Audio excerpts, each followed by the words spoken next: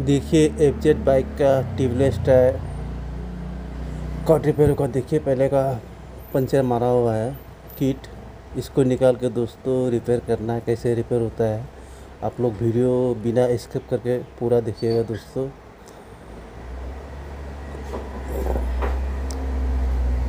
बहुत ही अच्छा से बन जाएगा ये टायर।